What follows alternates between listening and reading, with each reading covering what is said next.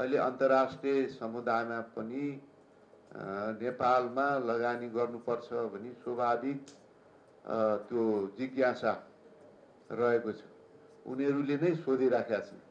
सामान्यतया यस्तो हुँदैन थियो। हामीले सम्पर्कमा जाँदाखेरि पनि उहाँहरू अलि इन्डिफरेन्ट उदासीन नै देखिनुहुन्थ्यो। अहिले चाहिँ एउटा विशिष्ट किसिमको वातावरण बनिरहेको अवस्थामा यसलाई हामीले चाहिँ सिज गर्नुपर्छ। यसलाई चाहिँ यो उपयोग गर्न हामीले सक्नुपर्छ भन्ने मलाई लाग्छ। त्यसो हुनाले यसमा हामी सबै गम्भीर रूपमा लागौँ र यसलाई चाहिँ ग्रान्ड सक्सेस बनाऊँ म एउटा अर्को थप पनि के चाहिँ यहाँहरूलाई सूचित गर्न चाहन्छु भने जुनमा चाहिँ आइडिएको ओल्ड ब्याङ्कको जुन चाहिँ सफ्ट आर्म यो चाहिँ सस्तो सहुलियत दरमा ऋण दिने संस्था छ। त्यसको चाहिँ सम्मेलन नेपालमा गर्नको लागि वर्ल्ड ब्याङ्क तयार भएको अवस्था छ।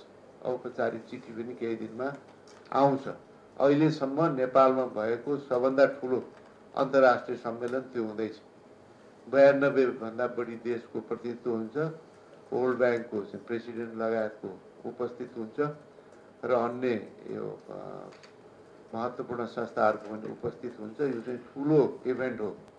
र त्योभन्दा अगाडि हामी इन्भेस्टमेन्ट समिट पनि चाहिँ अप्रिल अठाइस उन्तिस अर्थात् वैशाख सोह्र र सत्र गते हामी गर्दैछौँ र यसको सक्सेस यो दुईवटा सक्सेसफुल्ली र उपलब्धिमूलक बनाउँदाखेरि नेपालमा बृहत्तर यो मल्टिल्याट्रल बाइल्याट्रल मात्रै होइन निजी लगानीको चाहिँ दायरा पनि व्यापक रूपमा बढ्ने सम्भा सम्भावना